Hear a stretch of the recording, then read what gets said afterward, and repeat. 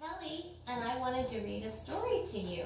I have Samantha the Story Mouse with me, and she is wanting to come out for our story time. All right, Samantha, come on out and join us. There she is. And what does Samantha say? Please be quiet, because I have teeny tiny mouse orejas. We'll do that for you, Samantha. Like Miss Kelly's class always says, sure we will, Samantha. Okay, here comes my handy dandy reading glasses. And our book is Splat the Cat and the Quick Chicks. Okay, open it up. This is written by Rob Scotton. Splat the Cat and the Quick Chicks. And it's also written by Laura Driscoll. Here we go. Splat's class had class pets, chicken eggs. Very soon they would hatch. Then they would be chicks.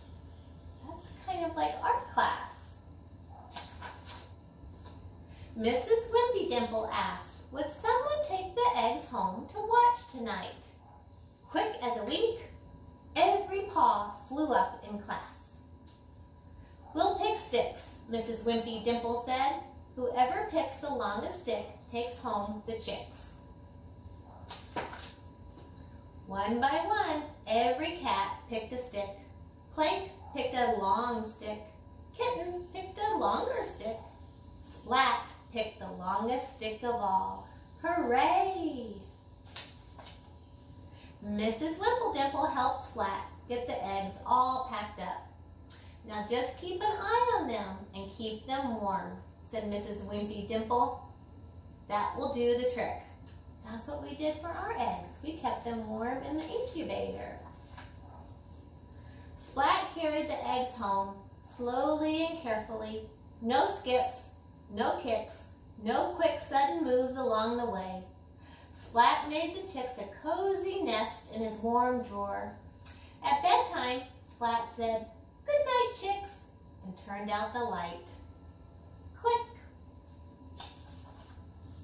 Early the next morning, Splat woke with a start. He felt a peck right on his ear. He felt a tickle on his nose and more tickles on his feet. Splat looked at the nest.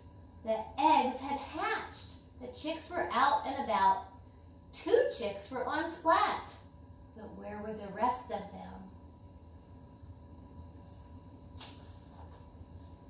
Cheep, cheep. Splat's ears pricked up. He followed the sound. He found two chicks in his thick, warm socks. Splat found two more chicks snuggled up to the clock. They liked the tick-tock, tick-tock sound. Splat looked in his toy corner. There was a chick in a truck. There was a chick in Splat's magic trick box. One chick was sitting in the paint box. Uh-oh. And there were two chicks in the house that was made of snap together bricks. We have those in our classroom too. Splat had found 11 chicks, but one was still missing, and Splat was worried sick. Then Splat heard a pick, peck, pick, peck. He turned around just in the nick of time.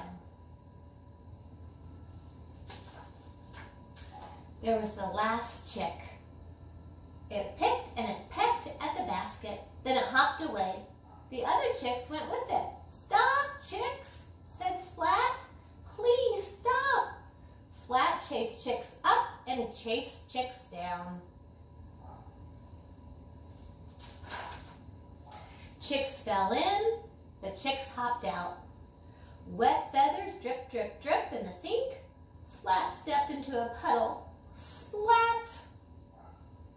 The chicks stood all over Splat. We better get to school before you run away again, said Splat. Look at all those chicks.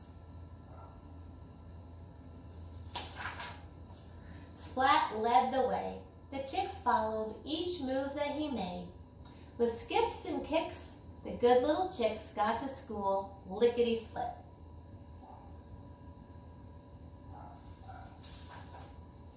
Splat's class was so surprised. Instead of eggs, now there were chicks, said Mrs. Wimple Dimple. But Splat, I think there's a missing chick. Oh no, thought Splat.